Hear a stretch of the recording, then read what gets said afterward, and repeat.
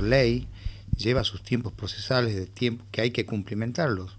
Desde que se crea el pliego, desde que se publica, desde que se da tiempo para la presentación de la oferta, todo eso está regulado en la ley de obras públicas.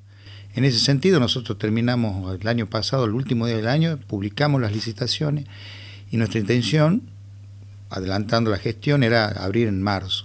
Pero presentaron las empresas numerosos expedientes en forma particular e inclusive la Cámara Argentina, pidiendo más tiempo para que ellos puedan analizar las ofertas, porque son con provisión de terreno, lo cual mencionaron inclusive en su presentación la palabra de pluralidad, para que participen más empresas inclusive, y nosotros accedimos. Es más, tuvimos una dura discusión acá porque queríamos rápidamente abrir las ofertas y adjudicar. Y pasamos de marzo ya a mayo. Abrimos ahora en mayo y estamos en el proceso de análisis. Hay acá hay una comisión de preadjudicación que está formada por el área legal, el área contable y el área técnica y nos están ya asesorando que los precios no son convenientes, no son razonables.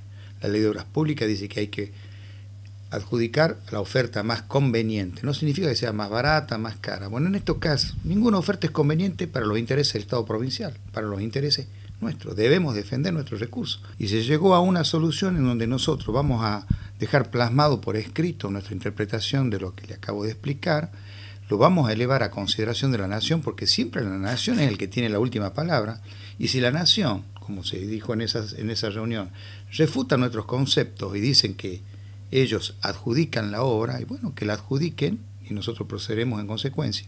Nosotros quiero aclarar que el 30% de los recursos los pone la provincia, no es que todos los fondos son nacionales. Sí, hay una demora, pero bien la vale cuando estamos hablando arriba de un presupuesto de más de 1.200 millones de pesos. Y tengamos la paciencia que hay que tener en este tipo de licitaciones por el monto que involucra y la responsabilidad que involucra a los funcionarios provinciales. Entonces no hablemos de perder mil millones, a lo sumo empezaríamos en octubre, que serían tres meses de certificación, que no creo que se avance más de un 5% de obra, por lo tanto haremos de un 5 o un 10% de ese presupuesto.